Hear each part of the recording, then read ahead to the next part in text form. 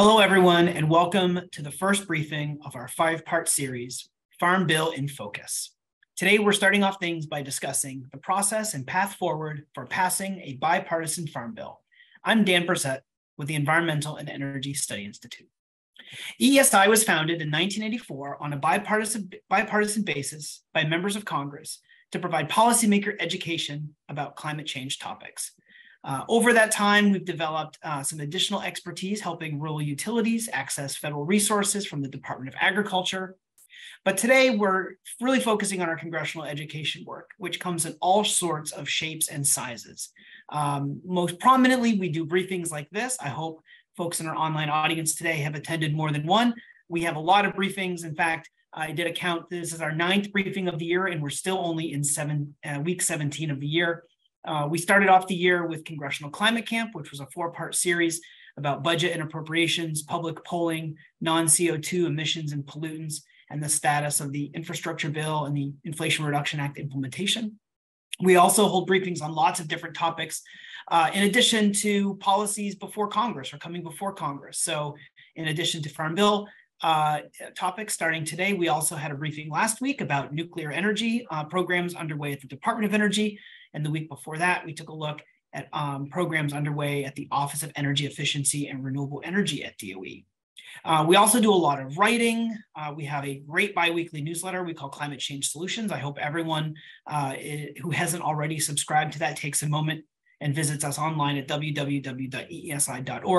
In addition to Climate Change Solutions, you can visit our website to access all of our congressional education resources. Everything is free, uh, totally accessible, and uh, open to the public uh, and you can find out um, pretty much anything you need to know about a climate change topic. My bet is that we probably have a resource about it uh, that was written or produced sometime in the last year or two. The reason why this is important uh, is because uh, our work needs to be timely, relevant, accessible, and practical in order for us to make a difference. We put a lot of thought into how our resources are presented to be science-based and be ready for the congressional staff person when they need the information. In fact, before they need the information and before they realize they need the information. In addition to this briefing series, uh, we held a briefing last month on organic agriculture in partnership with the Natural Resources Defense Council. We also have dozens of legislative side by side by side comparison fact sheets uh, that are already posted and waiting until we get uh, House and Senate text, and we can update them to help congressional staff quickly compare uh, what the House and Senate are proposing and how that compares with each other and also with current law. Um, and it's much better for everyone to have this avail- information available um, as you need it, because we all know, uh, or at least I anticipate, that in the next 12 to 18 months, most congressional staff people will become Farm Bill staff people. And it's much better to know that you have ESI as a resource before your boss asks a tough question about a climate change topic. And you can count on ESI, as always, to help with that. Uh, we've collected all of our resources, including our hearing tracker and article series, uh, which are also really great resources uh, at a single website, and that's www.eesi.org forward slash 2023 Farm Bill. Uh, Congress renews the Farm Bill every five years to address numerous issues from conservation to crop insurance. The Farm Bill is the most impactful piece of legislation related to US agriculture. It affects how and what food uh, we eat, uh, food access and nutrition, natural resources, rural development, and more. The 2018 Farm Bill, which was the last one, expires this September, and the process of developing the next Farm Bill is already underway and actually has been underway for some time. This briefing will help congressional staff get up to speed quickly on the basics of the Farm Bill, including the process for passing the bill, its history and evolution, and opportunities for a bipartisan path forward. We will hear from our expert speakers about what makes this Farm Bill special, including the relationship between the various policies and programs at stake and the investments provided by the Inflation Reduction Act. A key goal for this briefing series is to help staff learn about how to meaningfully engage with the 2023 Farm Bill, regardless of their boss's committee assignments. We have five really, really tremendous speakers, and um, I'm really looking forward to all of their presentations. After our presenters wrap, uh, we will have a Q&A uh, period. And since we're online today, our online audience has two options for submitting questions to us. The first is you can send us an email, and the email address to use is ask, and that's ask at eesi.org, or you can follow us on Twitter or other social media sites at EESI Online. And please be sure to use the hashtag, hashtag EESI Talk.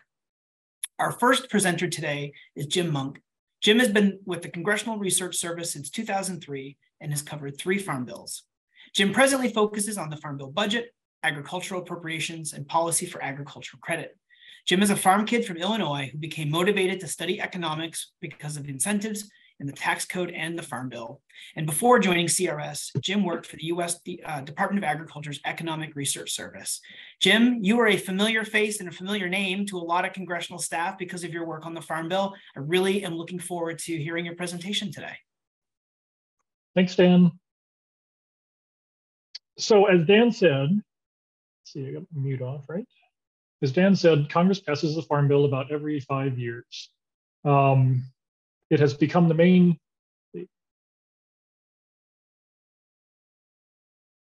Daniel, I need you to, there we go. Okay, took a minute. Now I can advance my slides. Okay, so the, um, the Farm Bill has become the main legislative vehicle to set agricultural policy for the next five years and beyond, and is also the legislative vehicle to carry changes to uh, that affect longstanding permanent laws that continue. Uh, the breadth of the Farm Bill has grown over time, over the decades, but has general is generally limited to the jurisdiction of what's in the, the jurisdiction of the House and Senate Agriculture Committees. Other, other speakers will talk about um, examples of what's not in the jurisdiction, but this next slide lists the titles of the Farm Bill that was enacted in 2018, gives an example of the breadth of the Farm Bill, ranging from, you know, Title One is the traditional farm commodities programs, um, and, and there's crop insurance, title, farm conservation, trade promotion, nutrition assistance, farm loans, rural development, and ag research and extension programs. There's a little forestry title, bioenergy, horticulture development, and a miscellaneous title that we stick a few things about uh, livestock sometimes in. So that's the breadth of the Farm Bill. It, and it is, it crosses pretty much all of the relevant parts of agriculture jurisdiction that um, are kind of food and, and fiber related. As Dan indicated too, um, why do the Farm Bill now in, in 2023? It's because we're at the five-year cycle of when the 2018 Farm Bill begins expiring at the end of this fiscal year. Um, one item to note is that expiration looks different across the breadth of the Farm Bill. Uh, there's different consequences on different categories of programs. Some programs continue can continue under appropriations or continuing resolutions. Some programs would cease beginning even as early as, as October 1st this fall. Um, other programs don't have consequences until we get to the new calendar year in January 1st. And, and an extension may work for some programs, but not all. So the, the, the consequences of expiration are not easy to, to confine. Um, one thing that agriculture has different from a lot of other authorization bills in the federal government is that for the farm commodity subsidies, there exists still permanent law that dates from the 1940s. And an expiration of the Farm Bill means that we would revert to permanent laws still on the books from the 1940s, which are really out of touch with modern economics, modern trade, trade policy, and it would be really expensive to the government. So it helps this expiration consequence of reverting to permanent law helps the Farm Bill get Congress's attention and uh, not just get left aside. To talk a little bit about the legislative process, the Farm Bill is no different than any other legislation. It generates some disagreement, but historically, the Farm Bill has been less bipartisan and more often about differences between commodities or regions. Um, the breadth of the modern farm bills that we saw across the 12 titles helps build coalitions to, to help get votes in places that aren't solely agriculture focused. The, the legislative process of you know, how a bill becomes a law is really, again, no different for the Farm Bill than other pieces of legislation. The House and the Senate develop versions of their, their own versions of the bill separately. Um, the Agriculture Committee, I think, is uh, well known for having listening sessions out in, in, in farm country and, and, and cities to get public input before they start writing the bill. Um, there's the usual subcommittee process of, you know, subcommittee and committees, the committee holding hearings with witnesses on Capitol Hill. Um, eventually, there'll be a business meeting of the Agriculture Committee where they do what's called a markup um, and, and have legislative text that they debate in committee, have a committee vote, and then eventually successfully report the bill as a committee bill to the floor. There's the usual floor consideration that you can watch on C-SPAN, um, where there can be floor amendments. The contents of the bill can change on the floor from members of the whole chamber, and then there'll be a chamber vote on the bill. Same thing happens in the other chamber, and those two different bills that pass the House and pass the Senate um, would be conferenced to reconcile differences between the House bill and the Senate bill. Um, during that conferencing, often USDA will come to the Hill to provide more in-depth technical assistance about how program that, that's in the, the chamber passed bills might work. Um, but there becomes a conference agreement. Single version of the of the con of the House and Senate bills comes down to one one joint version, and that version will be voted on in the House and the Senate, and eventually then go to the president. President signs the bill, bill becomes law, and USDA implements the new law. So that's you know the usual how a bill becomes a law that we watch in Schoolhouse Rock. Um, one thing to kind of to help watch, you know, for the, the, all the actors that can be there is the four corners, what people refer to as the four corners of the agriculture committees, meaning the chair and ranking member of the House Agriculture Committee and the Senate Agriculture Committee. Um, you can watch those four corners and they'll negotiate kind of amongst themselves representing their, their committee and the chamber. And um, if you get three of the four corners in line, then it helps get the bill across the finish line. Um, timelines. The last three farm bills, starting with 2008 Farm Bill, have had some hiccups that previous farm bills didn't have. Um, they started taking longer in 2008 and 2014, and the 2014 and 2018 farm bills had problems passing the House floor. To look at that, what that see what that looks like on a timeline, the 2008 farm bill should have been a 2007 farm bill. The House went first, got it off the floor by in, in summer. The Senate did it in the fall. It needed the spring of 2008 to finish conference, but then it hit vetoes from George W. Bush. Congress overrode the vetoes, but we finally ended up with the Farm Bill in 2008. The next Farm Bill should have been a 2012 Farm Bill. The Senate acted first that year, the Little Diamonds, and then the House marked up the bill in July, but it stalled then. Kind of during the presidential election cycle, uh, I think that contributed to the, the bill stalling through the rest of, of 2012. That's how we got the one year extension at the end of 2012 that covered 2013.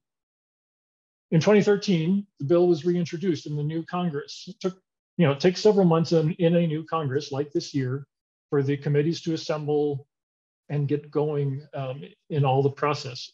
And so then the House and Senate marked up bills in uh, like May, I guess it was, of 2013. When the when the floor went when the bill went to the floor in the House, it didn't have it ended up not having the votes to pass, and it failed on the floor. That's the little yellow diamond or triangle. The notable thing in 2013 is that the House split apart the bill into a nutrition bill and a farm farm bill, and those passed Later in the summer, into September, the bill was stitched back together for conferencing with the Senate, and it was passed as a as a combined whole regular farm bill in January of 2014. That's took the longest that we've had of any farm bill.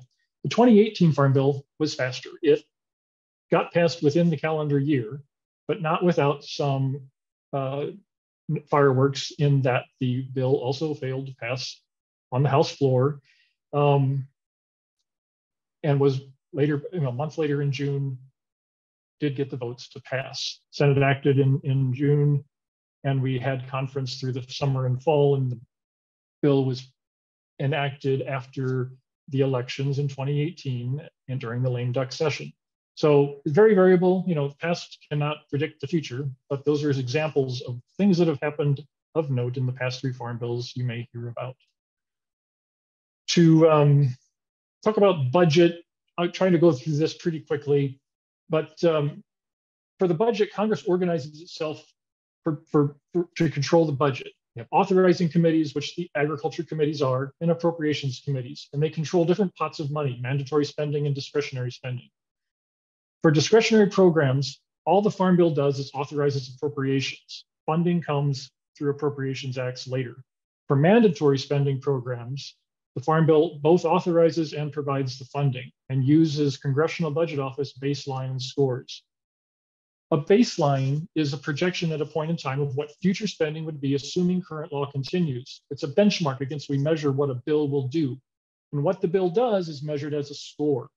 It's the expected change that a bill would make compared to current law. Pluses increase spending, negatives decrease spending. And the idea behind pay go or cut go is to not let a bill increase the deficit, to keep it from not from keep it from exceeding the baseline. Cut go is a little more restrictive than pay go because it doesn't allow tax provisions to offset spending, but that's really irrelevant for the farm bill because taxes aren't in the jurisdiction of the agriculture committee. So what's that look like in a quick example? Hypothetical program has about $100 million a year of baseline. A bill is proposed to, in some cases, increase spending, that's the little pluses, or reduce spending, the little minuses. These three provisions in this hypothetical bill have a net, still a net positive indicating that it would violate PAYGO because it's increasing spending. The score is positive, it increases spending compared to the baseline. And then my last slide is to look at what's the baseline for the current farm bill. Other speakers will probably talk about this more, but um, there's about $1.4 trillion of baseline for the next 10 years for largely four titles of the farm bill. But there are five other titles of the farm bill that get a sliver of mandatory spending, even though those titles receive more funding from discretionary appropriations. And with that, I will turn it back and let our next speaker go.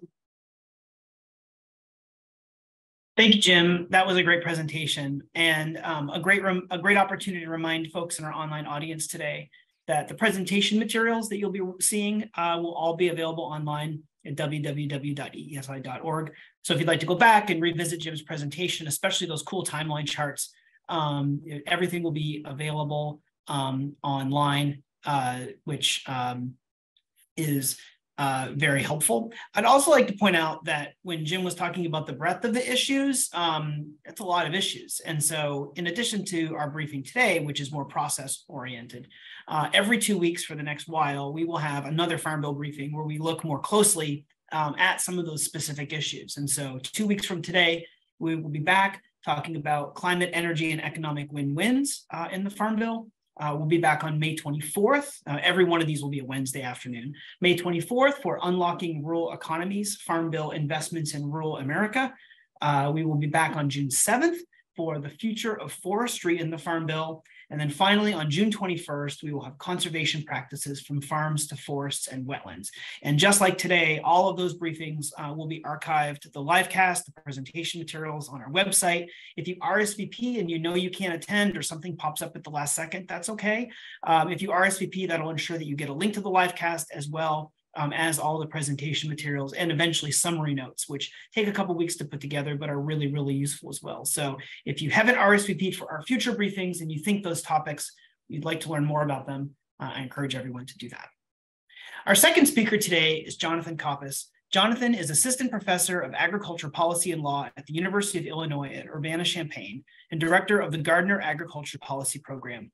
He's the author of The Fault Lines of Farm Bill or Farm Policy, a legislative and political history of the Farm Bill. Prior to his role at the University of Illinois, uh, Jonathan served as chief counsel and special counsel to, for the Senate Committee on Agriculture, Nutrition, and Forestry and legislative assistant uh, to Senator Ben Nelson. Jonathan grew up on his family's farm in Western Ohio. Jonathan, welcome to our briefing today. I'll turn it over to you. Well, thank you, Dan, uh, and thank you, EESI, for uh, allowing me to join this otherwise distinguished panel. Um, so greetings to everybody from uh, the Grand Prairie here in East Central Illinois, where spring is, is trying its best to stick around. So I'm tasked with a very brief and rapid uh, run through of the history of the Farm Bill. And so I'm going to do my best to um, you know, summarize about 90 years. So if Congress actually reauthorizes the bill in 2023, uh, it will mark 90 years since uh, this uh, federal direct assistance to farmers uh, was first put in place. We'll talk about that history and, and do a quick run through. I also, uh, at the top, want to apologize. I have class to teach here at the top of the hour, and so I got to jump off and we'll miss the question and answer. But the expertise on this panel will will do a great job of answering. So I, I uh, but I do apologize for that. Uh, in, in true sort of Madisonian uh, uh, theory, uh, the Farm Bill's strength is in its coalition, multiple factions coming together, bringing votes with them to get a to get a bill across the double majority in Congress and the House and the Senate. For the Farm Bill, the strength, uh, its political strength is in this sort of tripartite coalition, this traditional farm set of interests, uh, regional based, commodity based, as Jim mentioned, um, they're the ones that came together at the at the beginnings to push a farm bill through. Um, uh, beginning in the mid 1960s, then we added the um, food assistance through the food stamp program, now known as the Supplemental Nutrition Assistance Program or SNAP.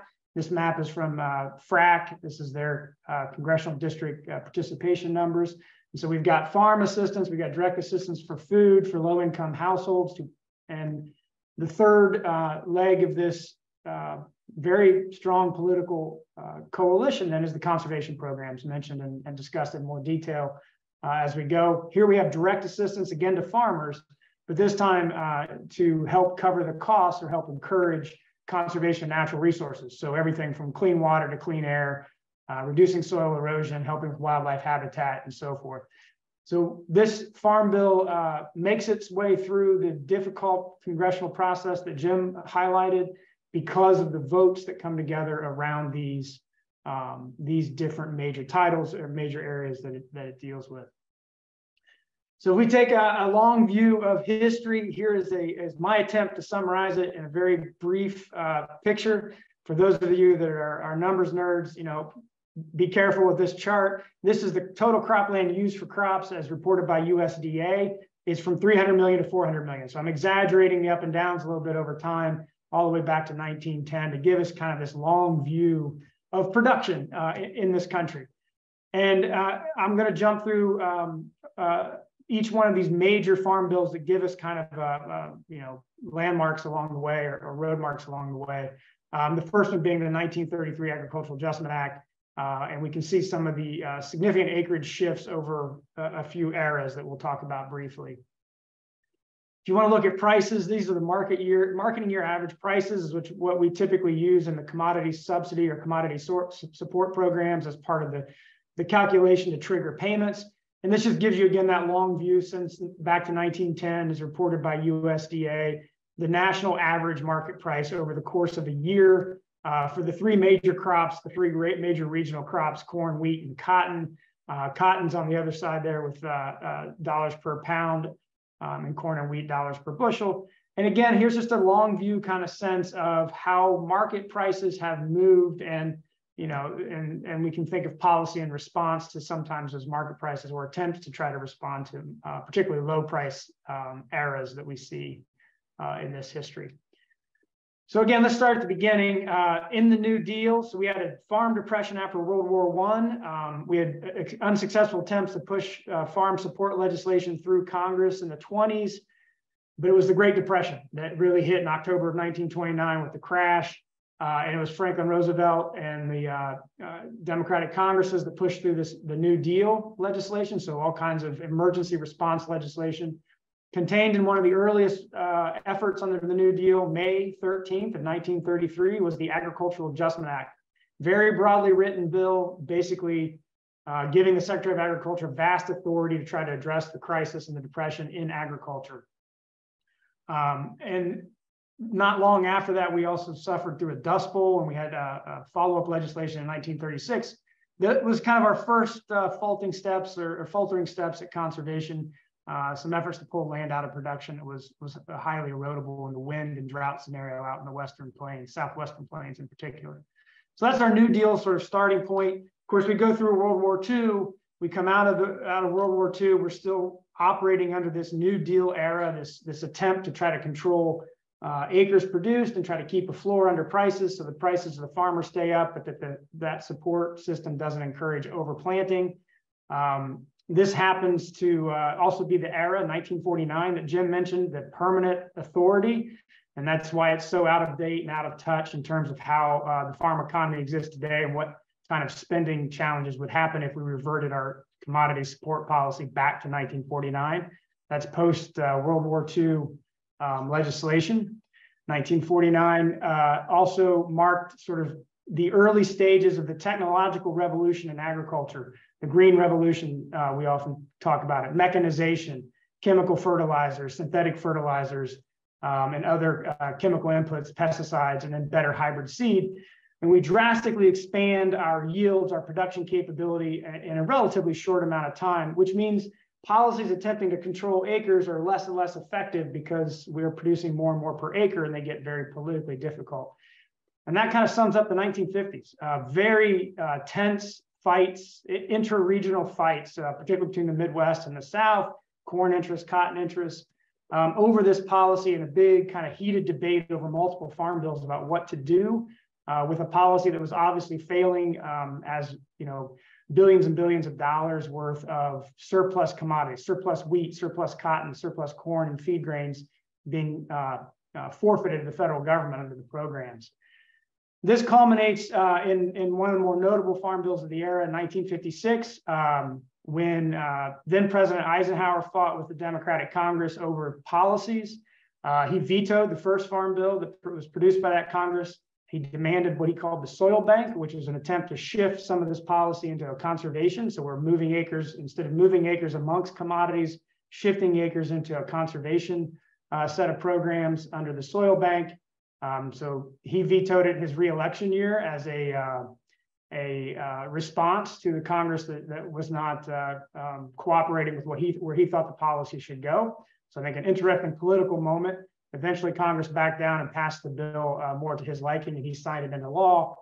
The soil bank, however, was pretty briefly uh, in operation, and um, part of it was terminated just a couple years later and eventually faded out. But it did include uh, the first version of the Conservation Reserve Program, the idea that we would pay farmers or pay landowners to take uh, highly erodible land and remove it from production for uh, multiple years, anywhere from three to 10 years. And so that was 1956. You can see on the acres chart, uh, following that, that policy was actually tightened and strengthened in the 1960s um, and, and focused largely on feed grains and pulled quite a few acres out of production uh, during that time. There is uh, a fascinating story in this 1960s timeframe. If we think about the coalition building and the Farm Bill uh, aspects, the Food Stamp Act of 1964 was passed in the wake of the first defeat of a farm bill on the House floor in 1962. Again, this regional fight and multiple other political battles uh, uh, brought down uh, a farm bill in 1962. And in order to get uh, revised legislation for cotton and wheat in 1964, Congress paired up the votes for a food stamp act and a cotton and wheat bill. They weren't the same legislation, but they sort of formed that initial coalition that bridged the vote counting out of just rural districts in the House to bring in uh, districts um, across the spectrum, including in urban areas. We then have the, the big spike in 1972, uh, Nixon, President Nixon and Secretary Butz with a uh, grain deal with the Soviet Union, a spike in prices, inflation, and all kinds of consumer demands. And in 1973, that farm bill is the first one to combine food stamps and farm support policy. And it also shifted out of that, out of the, what was the remaining of that New Deal policy to this target price concept where we're triggering direct payments to farmers. And then we go uh, into the 70s inflation and the 80s farm economic crisis.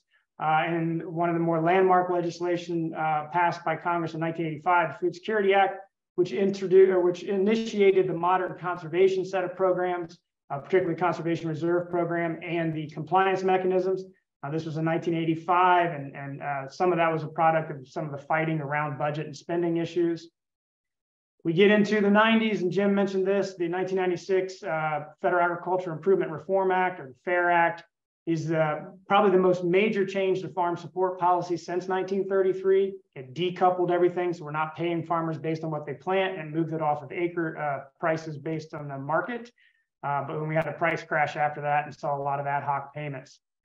We get into the modern area. I'm not going to uh, overstate this. Jim talked a lot about these modern modern era farm bills, uh, but I think the main takeaway from this that we see again is not just the, the political strength of the of the political coalition um, across the, the different titles, but what happens when that coalition uh, turns on itself or gets torn apart, largely under budget fighting, and that's the 2014-2018 Farm Bill experiences in which those fights over the SNAP program, the Supplemental Nutrition Assistance Program, really broke apart the coalition and, uh, and caused significant problems in passage in the House of Representatives in particular. So there's our brief history. You can kind of think about that back over the prices and acreage issues. Uh, a couple other quick notes, just um, this 2018 Farm Bill existence has been rather unique because of the massive amount of ad hoc and supplemental payments that have gone out in the wake of trade conflicts in 2018 and 19, and then this, and the coronavirus assistance programs in 2020 and 2021.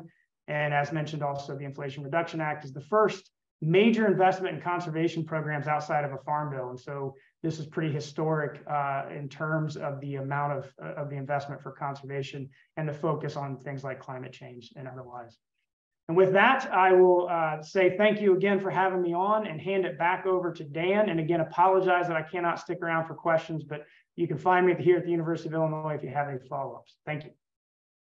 Jonathan, that was an incredible presentation, and um, I really appreciate it. Uh, great slides as well. Um, and we will definitely miss you in the Q&A, but we will release you to your students.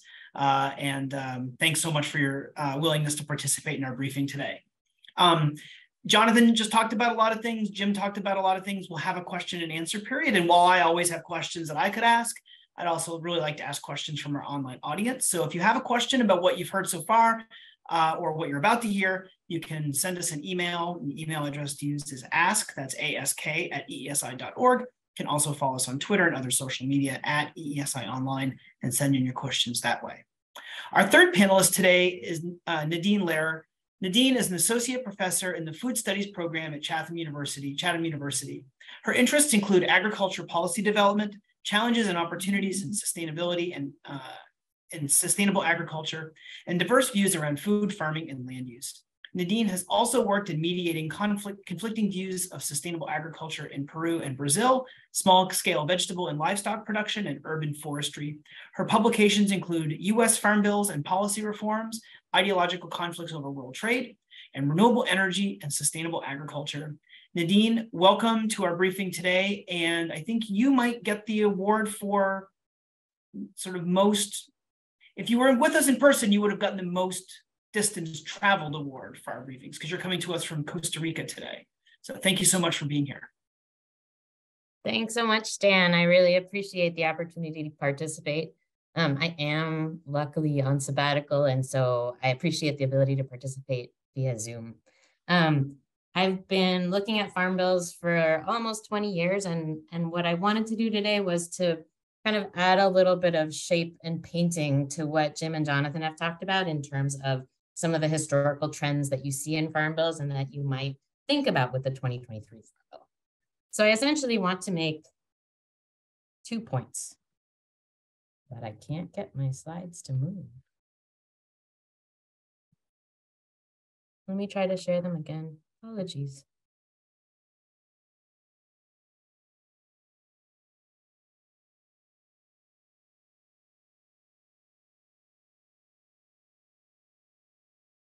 Okay, we got it now. Perfect. Um, so the first point that I want to make is that farm bills happen within a certain historical, political, situational context, and that context matters. So a lot of this we just got from Jonathan, right? The 1933 Farm Bill, this first setup of support payments, um, happened in part because of the Great Depression, right? Farmers wanted this kind of support in the 20s when they needed it, they couldn't get it. it was the historical and political context around the Depression that really made this seem like a package of supports that um, was doable and feasible and worthwhile. Similarly, in 1973, the increase in gas prices, food prices, grain sales to the Soviet Union, this idea that we weren't producing enough to meet demand kind of brought in the Nixon administration to say, hey, we got to increase production and to change the mechanisms of commodity programs to increase production. That wasn't a change that would have necessarily happened 10 years earlier, even though there were strong debates about it all the way along the way. the 1985 Farm Bill, the farm financial crisis, um, the overproduction of the 70s and the recognition of the environmental impacts of agriculture um, became stronger in that period. So, you know, you had the you had the environmental decade of the 70s, and all of a sudden the context was right for conservation groups to really get a place at the table and to make this big move for conservation into the 85 Farm Bill. And similarly, the 1996 Farm Bill that Jonathan talked about too, this idea of at the time reducing the price supports and subsidies came in a context where World Trade Organization negotiations were really pushing for reform, Republican Congress, budget deficit, high farm prices all came together to make this possible in a way that it hadn't been in 1990 and in a way that it wasn't able to again in 2002. So if you look at kind of information from different policy scholars, you see some principles that can help us, right, understand this. So most policy change is incremental, right? The government is designed to move slowly and cautiously and carefully. And so most change is slow. There's occasional bursts of change, and sometimes situational context is part of what shapes opportunities for change and stability. So, what do we mean by situational historical context? These kind of dynamics that Jim and Jonathan both brought up um, create a backdrop against with which congressional staffers, congresspeople, um, advocacy groups, farm organizations are working to kind of make their priorities part of the farm bill. But there's sort of the backdrop that can facilitate certain kinds of policy and not other kinds of policy at a certain point in time. That makes sense. So I'll give you an example from the 2008 Farm Bill. If you look in the couple years before 2007, which was when we were supposed to have the Farm Bill, you see a lot of conversation around trade and trade provisions and the idea that WTO pressure was going to push for reform to commodity subsidies. If you go ahead another year or two towards when we actually had the Farm Bill, you actually see very little of that in news coverage, very little about WTO, and a whole lot about ethanol, biofuels, renewable energy, right? So the context around that farm bill changed in the couple years before 2008, and it facilitated sort of a different set of policies, right? Not necessarily a commodity reform, but a, a farm bill that was focused more on status quo and more on increased renewable energy, right? So why why was that the case? You had a number of factors. Suspension of WTO negotiations in 06 really reduced that pressure. Uh, congressional elections, you went from a Republican Congress to a Democratic one that was more domestically focused at the time. Um, rising gas prices at that time in the early 2000s made it really appealing to look to um, corn ethanol as a fuel additive or a fuel alternative, right? So it meant more people were planting corn. Um, and it meant that there was more demand for corn, right? So higher prices, higher prices across the board for commodities, right? And that had budget impacts for the farm bill, right? So commodity prices that were high meant lower countercyclical or loan deficiency payments at the time, lower farm payments, brought the budget of the farm bill, the proposed budget, back into what looked much smaller, more budget compliant, made it seem less pressing to think about commodity reform and more pressing to think about renewable energy and to think about ethanol and how to how to manage this. Um, on top of that, you sort of had a political public mood, right? Um, just showing some images, right? This was post 9 11. It was pre housing bubble, pre Great Recession. And you had this idea, right, that was very resonant in the rhetoric of like homegrown energy, reducing reliance on foreign oil from the Middle East, et cetera, et cetera, right? So within this context, it shaped what players were able to do in the Farm Bill and it shaped the way that policy turned out. That's the first point. Second point is kind of reiterating in some ways some of what Jim and Jonathan said, right? And just highlighting the role of issue expansion in the Farm Bill. When the Farm Bill started, they were they were smaller. They were about commodity prices. They were about price support. They were about grain reserves, right? And over time, uh, the scope of the Farm Bill has increased, right? And Jonathan highlighted that as kind of the source of a lot of the stability in Farm Bill passage, right? So just to highlight that again, right? The 1970s, Jonathan talked about a lot, right? This rural urban alliance, support for commodity programs and support for nutrition programs that happened when you put these two bills together. The 1980s, right? Conservation programs, which in the 80s were mostly set aside programs. So you take land out of production for conservation. That also means you're reducing production and that means you're potentially increasing prices for commodities, right? Because you reduce production. And so that's appealing both to commodity groups and to environmental groups. So you have this synergy that allows new programs to come into the Farm Bill and that importantly expands the stakeholder base, right? Once conservation groups were part of Farm Bill, they're part of Farm Bill. Once nutrition groups are part of Farm Bill, they have a stake and they have an interest and they want to be there and they're at the table. So you have this increasingly complexifying set of issues and set of stakeholders when you go into these debates. Similarly, in the 1990s, you had to move towards more sustainable ag programs, working land programs, in other words, not just set asides, but conservation practices on farm alongside production. And in the 2000s, you saw more energy provisions and specialty crops. This isn't an exclusive list. Um, there's a lot more issues as well, but I just wanted to give a sense of how these dynamics shape farm bills and future farm bills.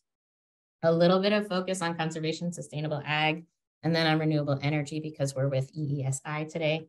So if you look, right, the early conservation programs in the Farm Bill were about soil erosion conservation, not so much for conservation's own sake, but more for, pre for preserving agricultural soils for future production. But as you get into the 1980s, you see these set aside programs taking hold. Um, in the 85 Farm Bill, you even saw the first kind of sustainable ag oriented programs, uh, LISA, which is now the SARE program. But the initial conservation programs, again, were taking land out of production. Until you started to get to 96, the EQIP program, 2002, the CSP program, which we're making more of a case that um, on-farm practices can contribute to um, agricultural conservation just as much as set-asides, or in, or in different ways, let's say. So over that time, you saw a real proliferation of conservation prog programs, and then in the 2010s, more of a consolidation of the programs. Um, and also, you know, the, the IRA kind of throws an interesting wrench in there in terms of the funding for conservation. That is something that will come up presumably in the 23 Farm Bill debates. Um, so if you look at it, right, if you look at programs that might be considered under sustainable ag broadly writ um, in the Farm Bill, there's a ton, right? So if you look at the CRS reports and the NSAC reports, you can get information on all of these. But my only point here is to say um, there's a lot, right? So commodity title is a big part of the Farm Bill. Nutrition, obviously, in terms of budget and um, is also a huge part, but but conservation and sustainable agriculture is is very well represented um, over the last 40 years.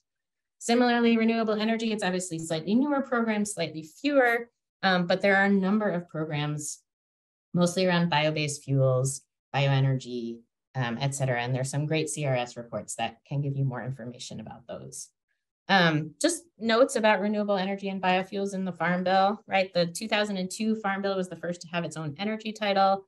That was expanded in 2008 in the case that we talked about, and those programs were mostly reauthorized in the 2014 and 2018 Farm Bills. Um, there was some shift from earlier on mandatory funding to discretionary funding, which can affect um, the way people are looking at the programs coming up into the 2023 Farm Bill. But again, it's an illustration of of sort of this issue expansion and how a new issue can come into the Farm Bill and then develop a history and a trajectory of its own. One thing important to think about with energy is that the Farm Bill is not by far the only place where you have energy legislation. Um, so a lot of energy legislation happens outside the Farm Bill and the Energy Committee, um, other ag-related energy bills, renewable fuel standards, CAFE standards, um, tax incentives for biofuels, also some of those in the IRA. Um, and so just to note that there are a number of different places where people are looking at energy aside from the Farm Bill. And so what's in the Farm Bill is a little bit more narrow in that regard. So uh, essentially, points I'm trying to make is when you're thinking about if you're working on the 2023 Farm Bill or if you're watching the 2023 Farm Bill, um, things to keep in mind that situational context matters. This includes the normal bipartisanship that you often see in farm bills, but also the partisanship that we've seen in recent decades in Congress, regional dynamics, stakeholder positions, current events, public mood, and it also in includes the history and trajectory of issue expansion, right? The ways in which conservation and sustainable agriculture, renewable energy, or really any other issue that you're thinking about have played out historically have some repercussions for what the debates look like now and maybe give you a little bit of insight as you're thinking about what might possibly happen. Uh, with that, I'm going to turn it over and my email's down at the bottom if you want to contact me further. Thanks so much. Thanks so much, Nadine. That was a really great presentation um, and uh, really, really appreciate you joining us today from taking time away from your sabbatical, which I'm sure is much earned. So thank you very much. Looking forward to revisiting some of these um, contextual issues in our Q&A. Our next speaker is Sakeenah Shabazz uh, Sakeenah is the policy director at the Berkeley Food Institute, where she supports its state and local policy, research, and educational advocacy efforts. Before that, Sakeenah was deeply involved in anti-hunger and anti-poverty research and advocacy with DC Hunger Solutions and the Congressional Hunger Center, where she was an Emerson National Hunger Fellow. Sakeenah, welcome to our briefing today. Looking forward to hearing your presentation. Wonderful. Thank you so much. Um, and also thank you to all the speakers who came before me. I think they've laid some really important context and foundation for some of the uh, contents that I'll be talking about today, which mostly is like what's in the Farm Bill and also framing it around some of the key players that are part of this process. Next slide. So we've already seen this already from Jim. Um, I think it's a good refresher to know what the 12 titles are that make up the Farm Bill, and just to kind of get a sense for this, because we're going to talk about what also is not in the Farm Bill and the corresponding departments within the federal government that represent those areas. But I thought it would be really good just to kind of give a little refresher of what this looks like. Next slide. And so if you are going back and looking at public law for the Farm Bill or for the one that was most recently passed in 2018, the Agricultural Improvement Act of 2018, you're going to find a table of contents, you're going to find the authorizing language, title area, and then a breakdown from there that will reflect the different policy areas that make up the Farm Bill corresponding to those different titles. But if you're looking at public law, I think the bill that was passed in 2018 was probably around 538 pages long. And so I think if you're going in and looking for a specific title or thinking about a specific policy area that you want to look at, it's good to know what this breakdown looks like so that you can be more supportive to the member that you're working for, the particular committee that you're working for when you're doing that research. Also, just a further breakdown, you're going to have subtitles that's often in reference back to older public law that's in place. And also the parts are divisions within those specific subtitles. And so it might give reference to a specific program or things of that nature.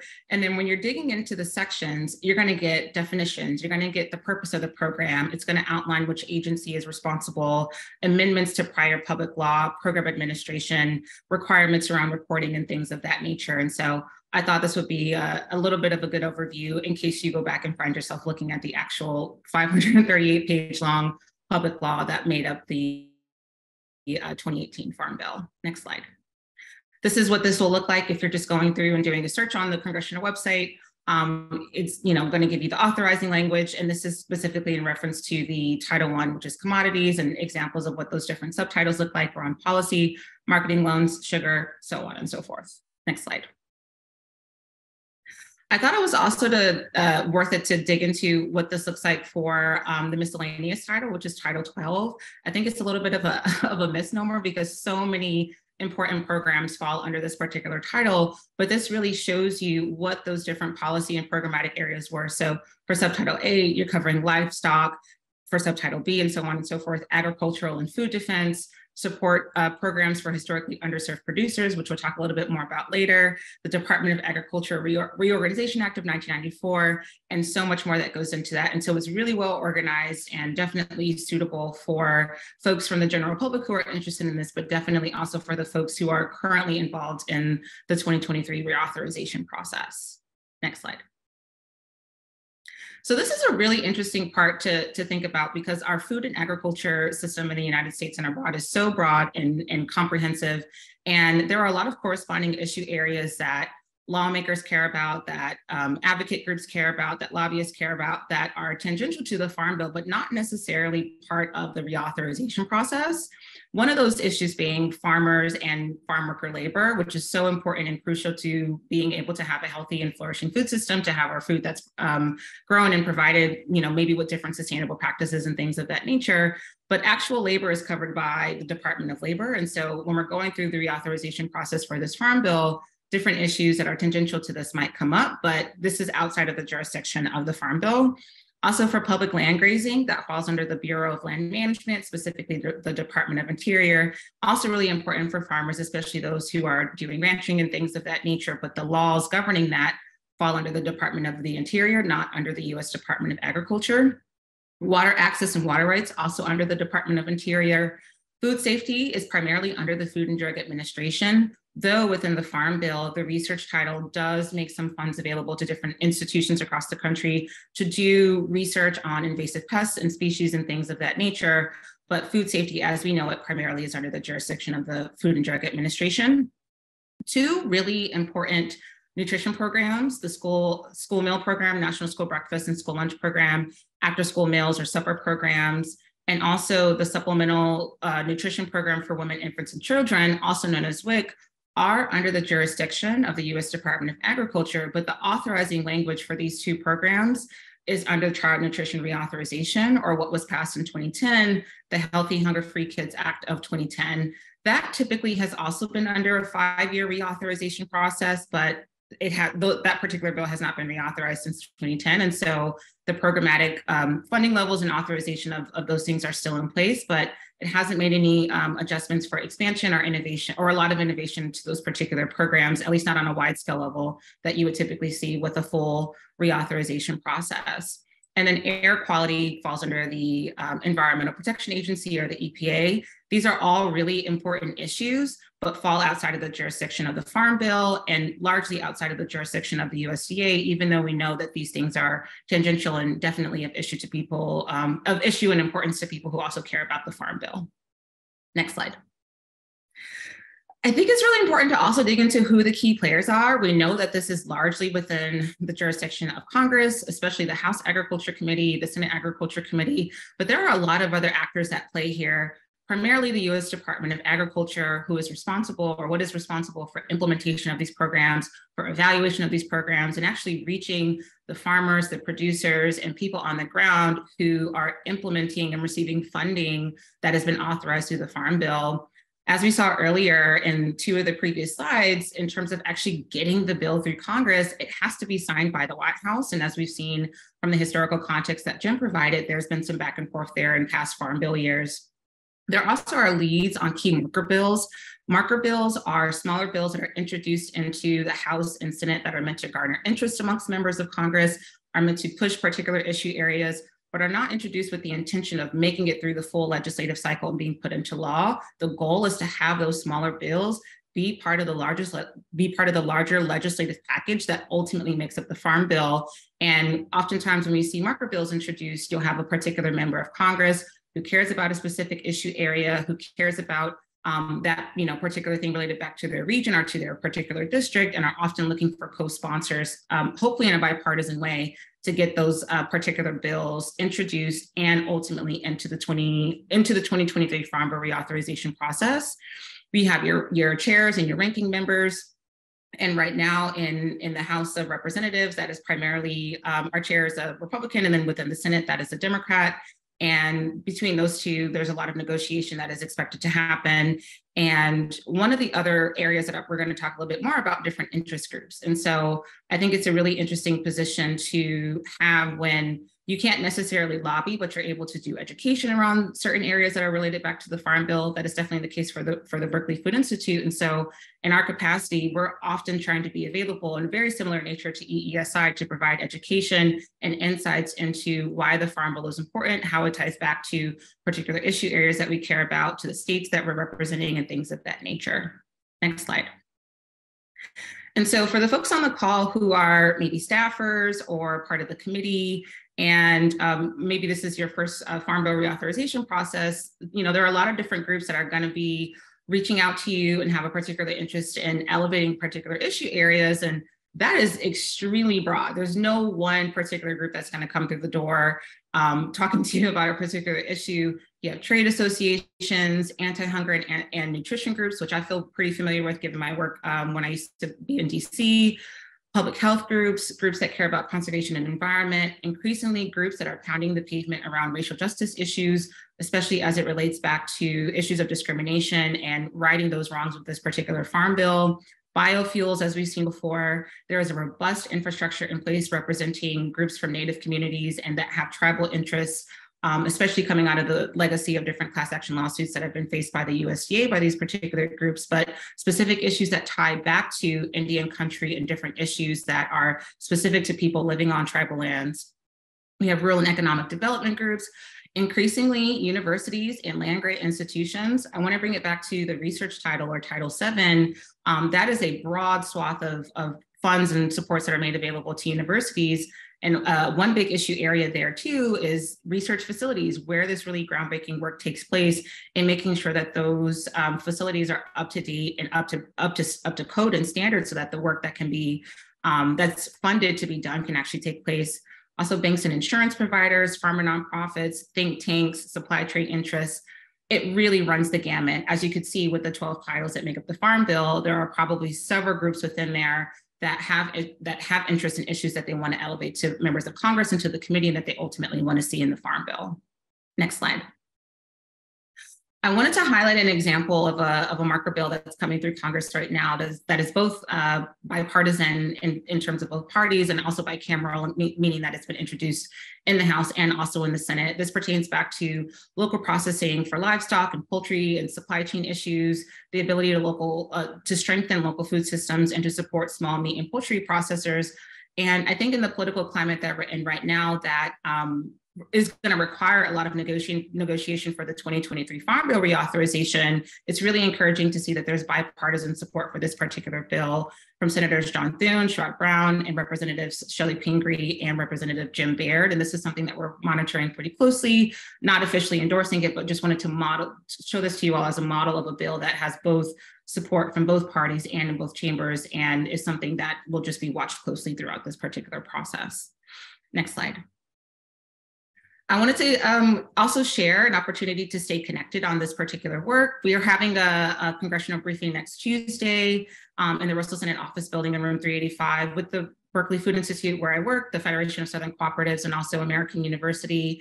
The representatives who will be on this particular panel are from the Federation of Southern Cooperatives, another group that's focusing on um, a policy research center for, for socially disadvantaged farmers and ranchers, another group representing the National Young Farmers Coalition with moderation from our executive director. This is a really rich time for gathering information, for staying connected on different issues that are both intersecting and warranting of their own, you know, sort of attention and investigation as we go through this particular Farm Bill reauthorization process. And my contact information is below and look forward to taking questions that you all have as we near the end. Thank you. Thank you. That was, oops, let me turn my video back on. I thought I did. Sorry. There we go. Thank you. That was great. Your um, issue group slide looks a lot like our RSVP list for today's briefing. So um, I think that's probably a good sign in terms of who's paying attention. Um, lots and lots of stuff covered, and we still haven't even gotten to Bart yet. If you have questions for our panelists, send us an email, ask, that's ask at eesi.org or follow us on social media at EESI Online. And that brings us to our fifth presenter today, Bart Fischer.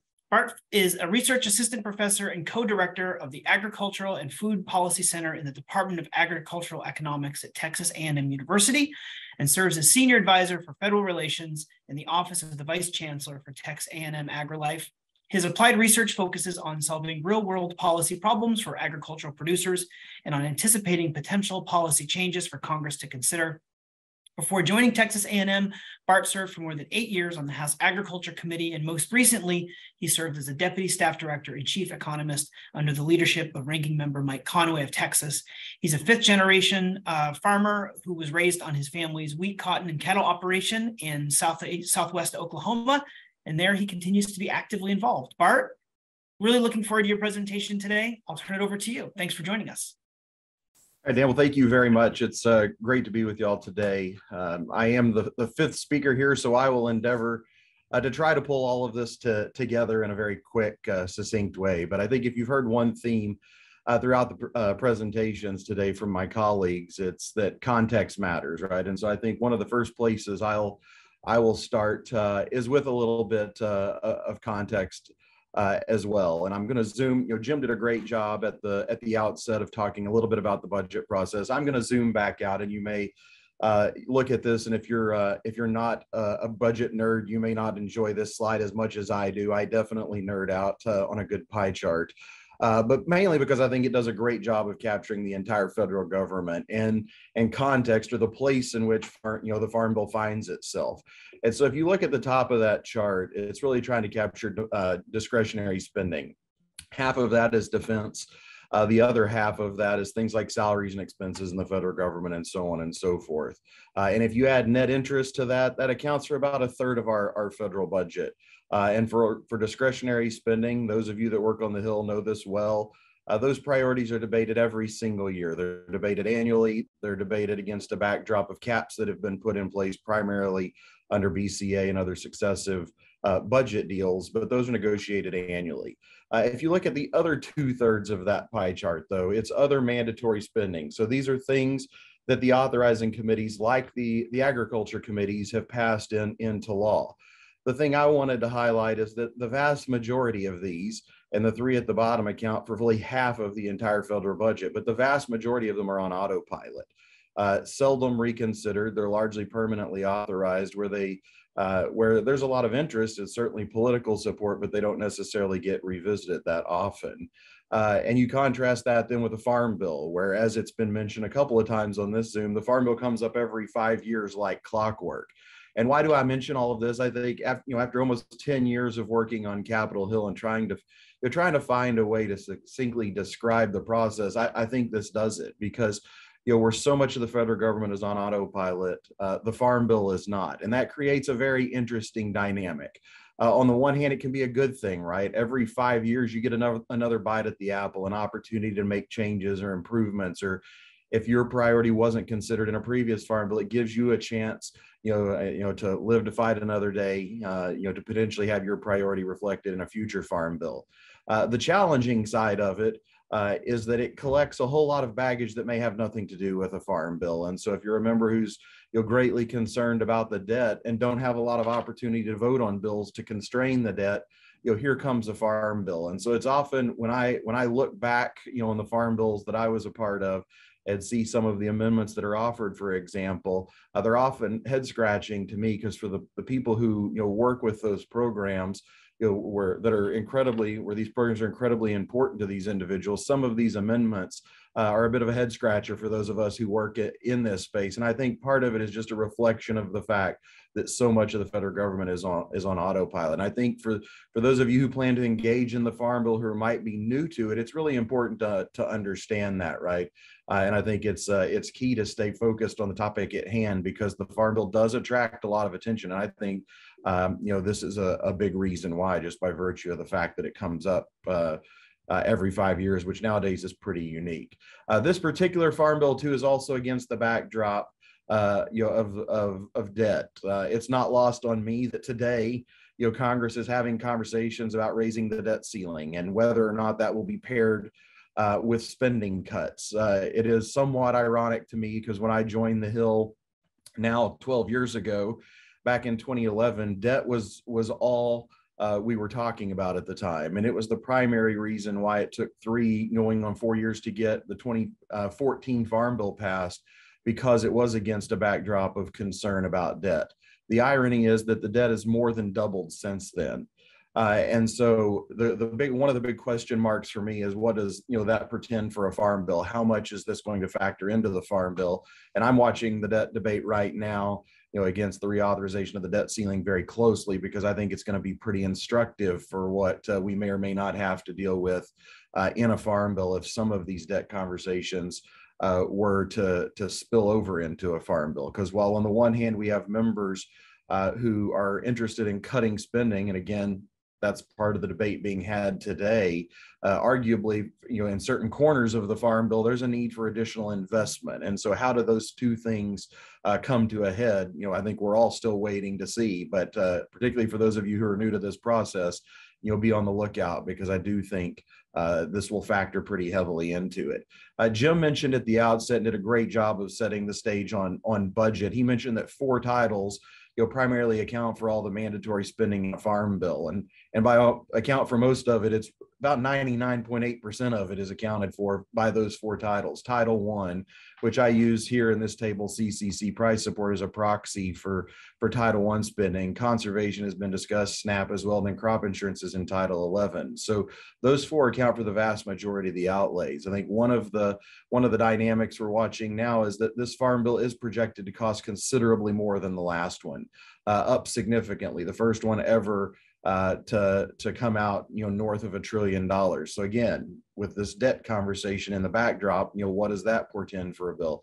Uh, on the SNAP front, we know some of the fault lines of the last two bills. SNAP, you know, relative to 18 is up 82 percent. Uh, conservation on the conservation front, it's up. Spending is up there.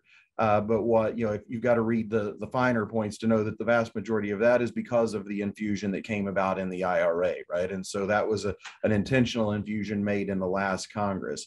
Uh, the last point I'll note here, you know, at the top of that chart for the the CCC, you could think of this. Uh, Jonathan mentioned, you know, going back to the early farm bills, 1933 you know, Title One of the Farm Bill is sort of your traditional reason for doing farm bills, income support for farmers and ranchers. Uh, you'll note that the baseline there is up a little bit. I think it's a bit misleading in part because about 10 billion of that uh, is what the you know the Congressional Budget Office sets aside as their expectation for what future secretaries down at USDA will spend in ad hoc spending. That's not something that has historically been reflected in the baseline, at least not to that magnitude. So I would argue about 10 billion of that is really phantom baseline. It doesn't really exist. And so what that means is for the traditional support to growers, it's largely has flatlined and even gone down effectively since the last back, the last uh, uh, farm bill, and that's against a backdrop of all the chaos we've seen coming out of out of COVID. And so where do we where do we go from here then? Particularly on that first point, I'll start there with Title One. I think one of the biggest threshold questions right now uh, is where the conversation is going to go on traditional farm policy. House Ag, they're having a hearing today, two panels, 10, 10 witnesses, you know, where they're exploring this very topic. But what we've seen over time is Title One. The traditional farm programs, income support, now it counts for about three, three to four percent of a farm bill. Uh, and it's extraordinarily targeted, which is why on this chart you see there in the middle, the 2018 Farm Bill was about $60 billion uh, over 10 years uh, in total for writing 20, uh, writing Title One of the 2018 Farm Bill. So there are many who feel you know, that the pendulum has probably swung too far uh, and it's one reason why you see the red box there. That in the last five to six years, we've spent north of $90 billion, the appropriators have, in ad hoc unbudgeted assistance. And so it raises this question mark of will there be an additional infusion uh, into the Farm Bill? Uh, quite frankly, I think it's going to be necessary. Our, our conversation here today is about path and process to get to a bipartisan Farm Bill. I think this question mark is one of the linchpins in whether whether or not that can happen um, is is uh, is going to have a huge bearing uh, on the process. Another one that I'll mention, and I should give credit to Jim here as well, because Jim has historically been the authority over at CRS on tracking items that don't have baseline. And you think, well, why might these matter? Know, all of the spending we've talked about are for programs that have a, an ongoing budget where every farm bill, they don't have to come up with the funding to pay for it. But there's also a litany of programs in a farm bill they don't, where it doesn't have baseline. Congress will just give it a one-time infusion. Uh, but typically there's an expectation that that's going to happen in each in each farm bill, in each successive farm, uh, farm bill. But absent new money to a farm bill, how do you pay for that? Generally by cutting somewhere else. And so this is one of the many things that the leaders of the ag committees have to weigh and that are they going to be able to trim elsewhere or secure additional funding to be able to help uh, cover some of these things. And they run the gamut, the top there in the miscellaneous title, you know, this emergency citrus trust fund, you see a few uh, organic provisions there, a couple of provisions on biofuel, uh, all the way down to things like feral swine control. All of those are programs that don't have baseline. Uh, I think the saving grace is that in 2018, we largely cut that list in half. So it's a much smaller list than it has historically been, but yet it's still something that the membership is going to have to wade through, particularly the leadership of the ag committees in both the House and the Senate will have to, to wade through. Another one that's been mentioned here a lot is also the, the Inflation Reduction Act. There was a significant infusion, there roughly 20 billion in budget authority. Now the estimate is that translates into about 15 billion in outlays or what, you know, CBO expects USDA to cut a check for up to about 15 billion over the next 10 years. And so clearly there's a lot of political support for that, the infusion that was over and above the existing baseline for conservation. I think the question mark is you know what might happen in a, a, farm bill conversation so the, the blue on these charts was added in the ira as part of budget reconciliation which we don't have time to get into the nuts and bolts of today but in the context of a farm bill uh, the leaders negotiating the bill certainly could revisit the blue. You know, they could reallocate it, they could use it elsewhere. And so that's another thing that we're watching closely is the direction they go there. Do they choose to revisit some of this? Uh, I don't necessarily think that all has to be bad either, or even viewed as a threat, because the challenge with the blue is that it does end. Uh, it has a finite shelf life in 2031. And so within the context of a farm bill, there are actually ways to reallocate where the blue could also stay in in perpetuity. And I can talk about that more in Q&A uh, if you like.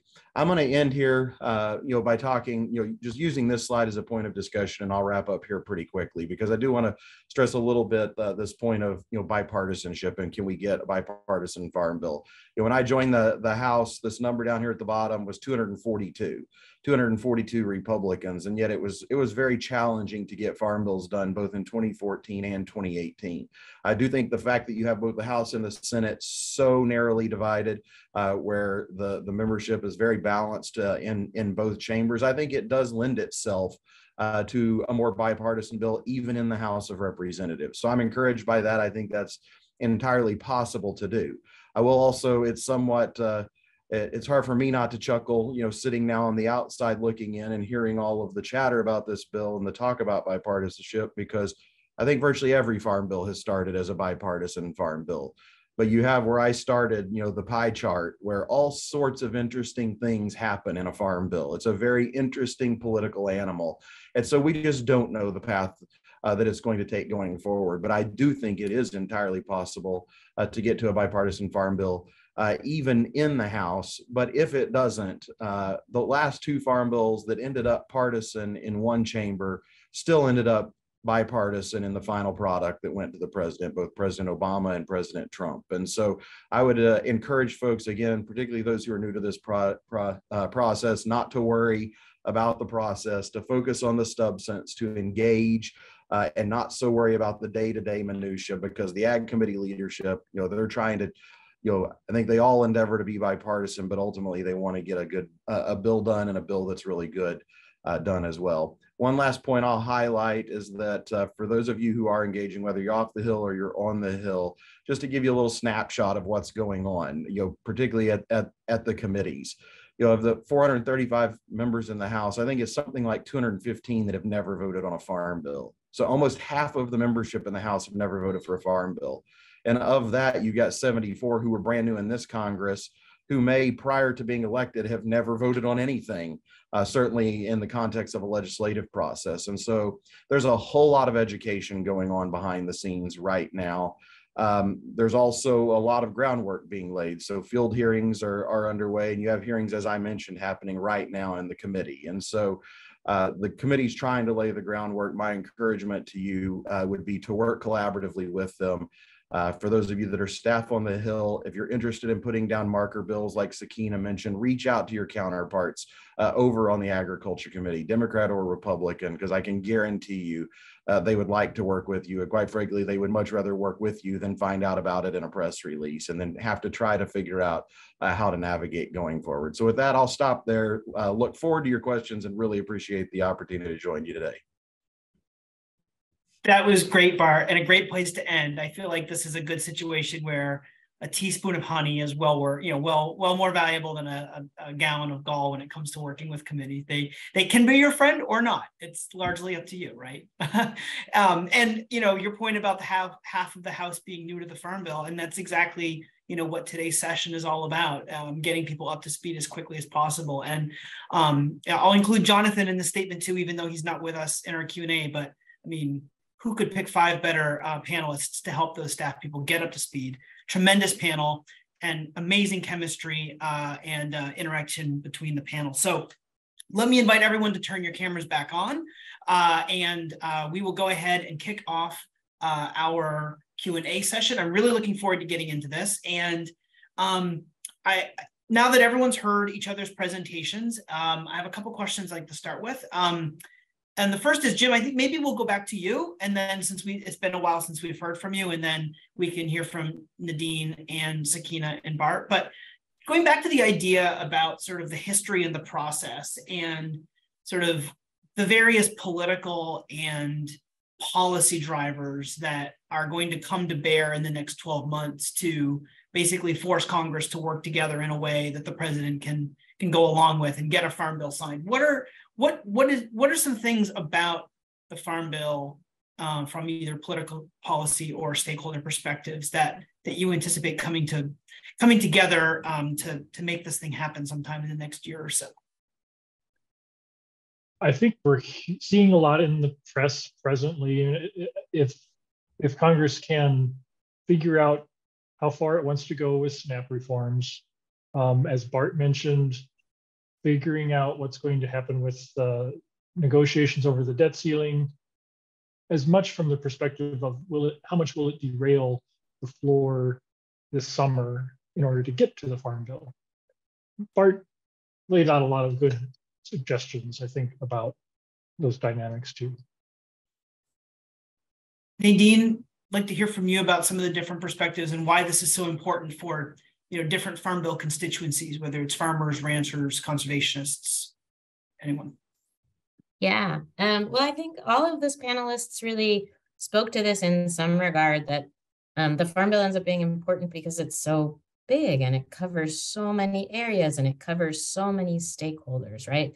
And so it's crucial to farmers and ranchers. It's crucial to conservation. It's crucial to energy. It's crucial to, um, beginning farmers, socially disadvantaged farmer groups. Like there's there's so much in there, nutrition and SNAP and kind of basic poverty alleviation, right? Like it's it's crucial in so many areas that what ends up being interesting and important is that this then lives um, as Bart suggested in a in a mechanism that has to be reauthorized and that has to get passed through sort of the gauntlet of current politics, right? And that has a strong bipartisan history, but also goes right through the middle of all the debates and all the disagreements and all the rancor and all the cooperation that happens in the country. And so I think it's um, I think it depends on a lot um, one thing that I have learned over the years is it's, I think it's very hard to predict, um, but it's important to watch and see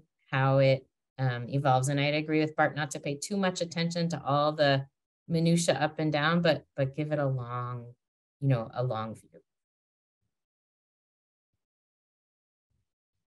Sakeenah, please feel free to jump in.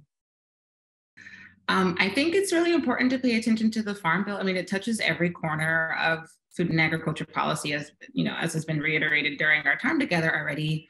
I think one of the analogies that has felt most appropriate, especially working with students at UC Berkeley this semester, is just sort of thinking about the farm bill as a sort of like Super Bowl of like food and ag policy. It's really hard not to pay attention to it when it's in the news cycle, when it's under reauthorization, and coming from a state like California, where you know, we're like a major producer for specialty crops. And just in terms of land mass, it's really huge. And thinking about our, our agriculture and extension network across the state, there are so many different interest points and different points of um, engagement, considering that we also have members on the House Agriculture Committee and, well, the House Agriculture Committee from both Democrats and Republicans, not on the Senate Agriculture Committee, but th- those being really interesting points of um, leverage and connection as well, and making sure that we're making space through the different educational and advocacy groups that we're a part of to engage with those members. And I really want to go back to the point that Bart made is that there are so many members in the House who have who are voting for the first time and not been in Congress before,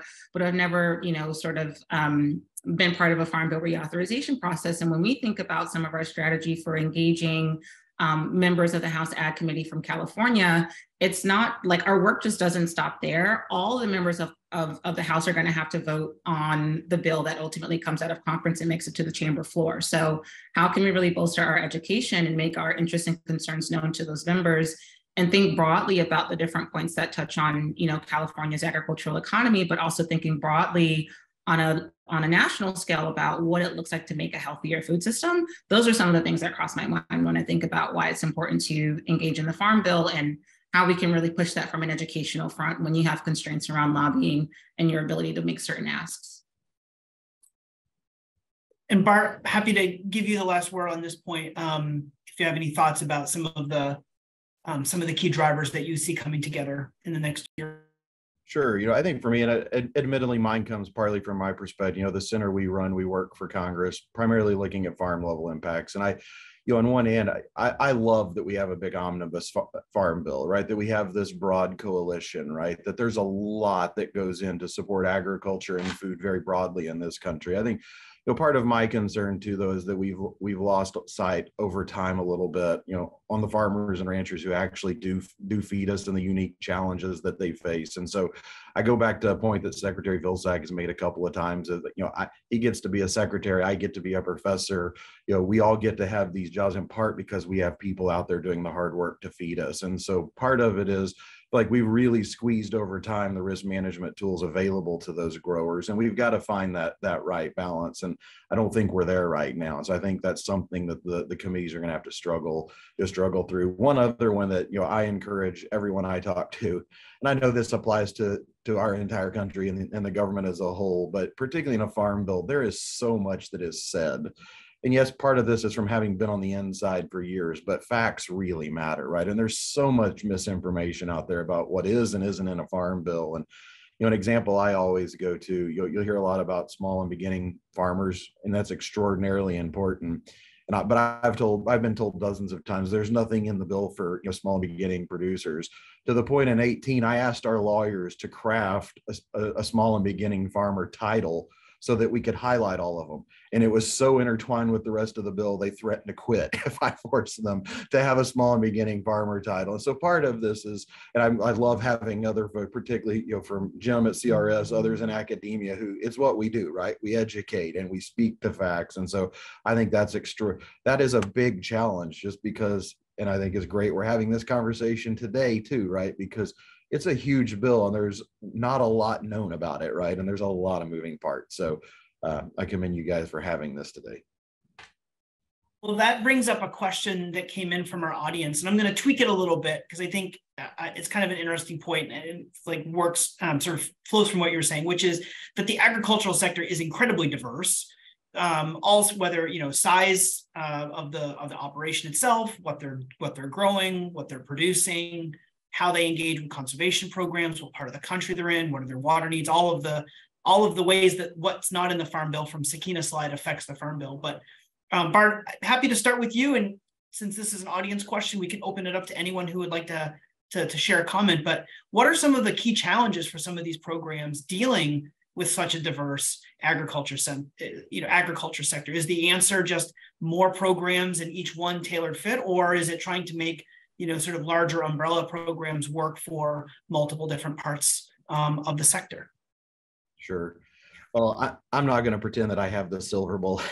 right? That's part of the legislative process, right? Members of Congress, you'll get to decide how to, you know, to weigh all of these things. I think a couple. So maybe I'll just offer a couple of observations. I think you know, since particularly since the 1996 Farm Bill, we particularly on the production agriculture side, we really struggle with that question because the hallmark there was, you know, let's let the market drive the discussion. Let farmers plant for the market, not for the federal government. And I would, to some degree, argue uh, that that uh, you know that that has been successful. But it also means where we do choose to engage, it's going to be more targeted. But how are we going to do that to make sure uh, that there's kind of equity, you know, in in the safety net? Um, I think one other observation I would piggyback off of that then is that probably one of the biggest success stories, again, on the kind of on the on the production side of the ledger, would be insurance, right? We now insure over a hundred crops. We now have new policies that are targeted. We're we're in Title One. You don't really have you have a small presence on specialty crops in crop insurance.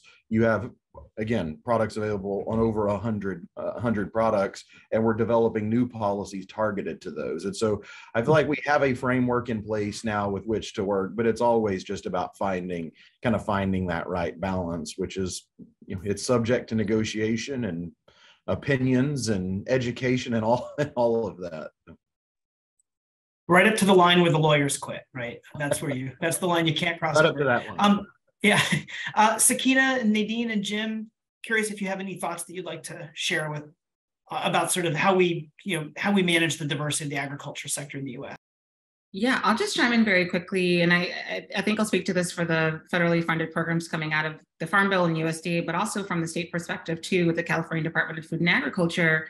One of the things that advocates and you know the folks who are responsible for implementing programs always have their pulse on is technical assistance and making sure that farmers who are eligible for programs have the support that they need to be able to apply for them, to get their you know appropriate financial documents and, and such in place.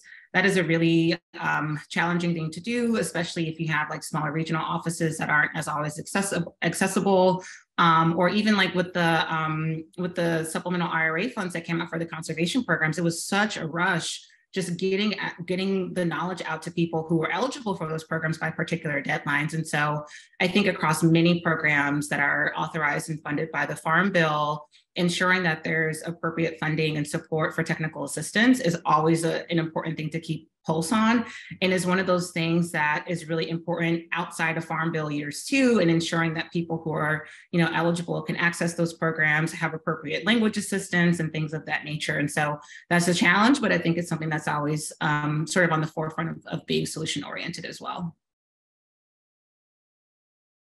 I might add just that in terms of it's one of the things that I think makes Farm Bill interesting. So for those of you who are um, working on the Hill and maybe working on this for the first time, the fact that there's such a breadth and diversity of constituents um, gives strength to the bill, right, in the way that Jonathan highlighted, and also makes it really complicated and really difficult, right? And much messier in certain ways than it probably was in the 30s and the 40s when you could get everybody together in one room and figure it out. And so it both makes the process more difficult and also easier, right? There's questions of how to allocate money, and there's these larger questions that I think come up. You know, I can say this um, coming from sort of an academic setting, it, it brings up questions about like, what's the role of government? What should government do? What kinds of services should be provided? You know, these basic questions of constitutional democracy come through the Farm Bill. And so it doesn't give you an easy answer, but it it it means that even if you don't know a lot or don't have a ton of interest a priori about agriculture, um, there's a lot to learn and there's a lot that really speaks to these larger issues of democracy and government that, that can be pretty fascinating and important. Nadine's answer was fine. I don't need to add any more. All right. Well, in that case, Jim, we will let you go first in our lightning round because we're just about out of time. And so the question I would like to pose to everyone as we wrap up today is uh, if everyone could offer one, maybe two examples of what you know now that you wish you knew then uh, when you first started working on the farm bill or agriculture policy. Jim, what would you what do you know now that you wish you could tell your your previous self, your your past self before you got started on this work? So I think when a lot of when we come into the farm bill as individuals years ago, you come in with one particular topic, whether it's conservation or nutrition, or in my case, you know, the farm supports, farm commodity supports. And when you do that, you're very narrowly focused. And so I think what I wished I felt better was the breadth in the process, um, what we've done today, um, how it all fits together. I think is really my answer. Uh, and I've learned a lot of that just by watching over a few farm bills. Um, but you know, settings like today can, can really help speed speed that up. Nadine, we could go to you next, and then Sakeenah, and then we'll and then we'll hear. Yeah, um, I think there are a number of things that I learned over the years that I might have liked to to realize early on. Um, one is that this is a long game.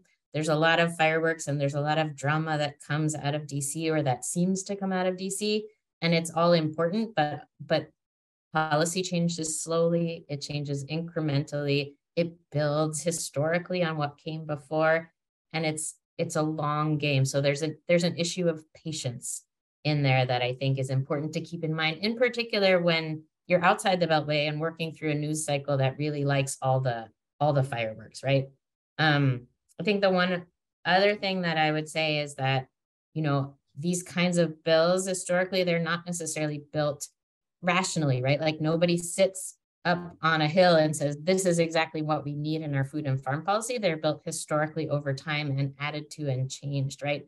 And so that means that from the outside a lot of this can seem irrational, right? Or, or and and so it's important to keep in mind the historical context, how it's built, and how that affects how things change, and the fact that a lot of the times the fireworks you hear in the news cycle outside of the Beltway don't always reflect the way things work on the hill right? That i i remember experiences of talking to people who are working on the hill and talking a lot about how bipartisan their work is even though that's not necessarily what you hear in the news cycle. And so that i think has always been a really key takeaway for me. That's such a good question and i think there are two points that that come to mind. When i you know first started working in this space i was almost exclusively focusing on food and nutrition programs considering that SNAP takes up, you know, anywhere from 75% to 80% of, of expenditures for, for the Farm Bill. But it was really enlightening to learn about the different titles and to learn about the different broader farming and food issues and food systems issues that the entire farm bill make up. And so if you find that, you know, you have one particular area of concentration or expertise, like explore, read the bill, all 538 pages of it, or you know, look at different sources like like what's available on EESI and, and other groups too that focus on the different issue areas. A few that come to mind are definitely like FRAC, the Food Research and Action Center, National Sustainable Agriculture Coalition, especially if you're coming from a more advocacy background. They produce really wonderful research and work in great bipartisan ways across those different issue areas. And the other part I'll say too is that if you are, you know, coming into this from a more um, advocacy background or coalition building background, diversity of coalition matters. Working with groups that are in urban areas and rural areas is really important. Older farmers and younger farmers, different cross-racial organizing groups and things like that are super important and only make for stronger work in the end and a stronger sort of organizing body if there's like one particular issue that you want to elevate to Congress, but also on the other end for, for folks who are staffers or, or working on the Hill, um, that that's a really robust learning opportunity and to see different groups coming together that might not always have similar interests but are coming together for that particular issue i think is really powerful and really gives you an appropriate lane to sort of like use your policy skills your education skills and just building up morale and support around different issues that maybe wouldn't get as much attention if, if it was just one particular group driving that issue. So cross uh, cross group coalition building and you know keep exploring all the farm bill just just read all of it if you can if you have time it's it's a lot but it's worth it and i think dan i may uh, i think i'm i'm a blast um i may wrap up a little bit more philosophical kind of looking back on my time on the hill in, in two parts. One of them actually piggybacks off Nadine. And so this is kind of focused more on folks who are watching this, who are coming from outside the process, who aren't on Capitol Hill. And that is if, if you are watching cap- cable news, uh, you know, which makes money off of reporting every little thing that happens and magnifying it, uh, you may look with a lot of skepticism on Washington D.C. But I let after almost ten years of working there, I left with more respect for the process and not less. And so, the reality is, from from having worked alongside a lot of, of folks, there are really good people working on Capitol Hill. Uh, who are well intentioned, who don't know everything, but who want to learn about your issues. And so engage uh, engage with them. You know, our process, as was noted, may may have been Nadine in her her comments. Our process is designed to be slow and painful. The founding fathers intended it, right? Uh, and so it's done by design, but it's also magnified by a lot of other outlets who profit off off of that. And so my uh, my encouragement to you is to not be cynical about the process. Don't give up hope. Engage in the process because there are really good people working on this. The second part is for those who are watching who are working uh, on Capitol Hill. I think there's often this, I mean, this is human nature, right? That I'm in this new role. I'm supposed to know what I'm doing. You can't know everything. You're not going to. And my encouragement to you is don't be afraid to ask questions. You got a huge uh, resource in Jim sitting uh, over there, but frankly, uh, all of us. So don't be afraid. Uh, to ask questions. If you call someone and ask a question and they make you feel stupid, then call one of us because we're not going to make you feel that way. We want you to be successful. I get calls almost every single day from Capitol Hill answering questions. And so don't be afraid to ask your question. It's it is okay. Uh, much better, you know, to get the information you need than to sit there trying to make these decisions and advise your your boss uh, through intuition, right? Use those resources at your disposal. So um, I will I will I have lots of them, but I'll stop there, Dan. Well, I think that is a great place to uh, to leave it. And Jim, I look forward to maybe finding out how many voicemails you get this afternoon uh, for people who want uh, all of your great resources. And Bart, I was actually thinking that you might say to your 2011 self, if you think the debt is something now, just wait until the 2023 Farm Bill debate.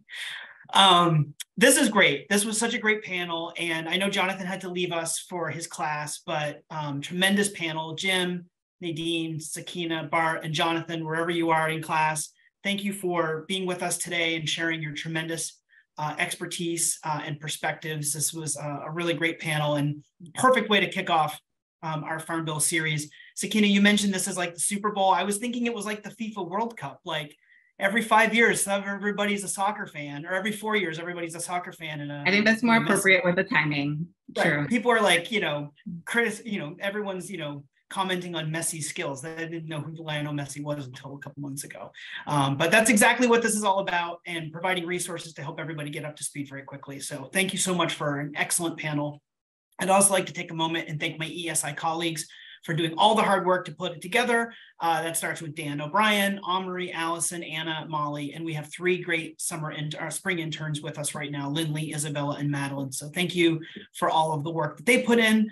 Um, we have a bunch more briefings coming up. Uh, we will be back two weeks from today with uh, climate, energy, and economic win-wins.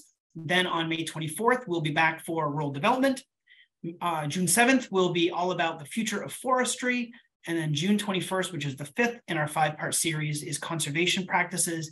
In addition to these briefings, uh, we also, uh, or RSVP for the briefings right there. Just everyone should do that if you haven't yet, because even if you can't attend, you get the archived webcast, you get the presentation materials, you get the summary notes. All of those resources will be extremely helpful going forward, I promise. Um, we also have some really additional or some additional other Farm Bill resources. This is one of our side by side by sides. Uh, it, this is the Rural Energy Savings Program, which is our favorite uh, part of the Farm Bill.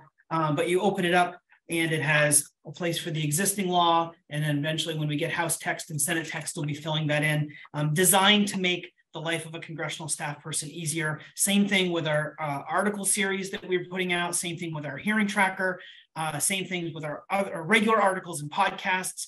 Uh, and the best way to keep up with everything is to subscribe to our biweekly newsletter, Climate Change Solutions. And you can do all of that uh, by visiting us online at www.eesi.org. Sorry for going a few minutes late. I always say that because we always go a few minutes late. But if anyone in our online audience today uh, would like to uh, tell us how we did, share your feedback, this is a link to a survey. Uh, we had a robust audience today, and I really appreciate that. And we take all of your feedback very seriously. We read every response, and we always do our best to improve. So if you have a few moments and you'd like to share your thoughts, if you had a problem with the live cast, if you have ideas, uh, anything like that, we'd be really happy to hear that feedback. It really does help a lot. We will go ahead and wrap up. Uh, thanks again to our great panelists. Thanks to my colleagues. Uh, thanks to everyone in our online audience. And we'll be back here uh, in two weeks for uh, economic, wait, energy. Wait, what is it? Dan, I'll go back two slides. I get the, the order of the words mixed up. There it is. Climate, energy, and economic win-wins in the Farm Bill. That's May 10th at 1.30 p.m. Eastern. And until then, thanks so much and hope everyone has a great Wednesday afternoon.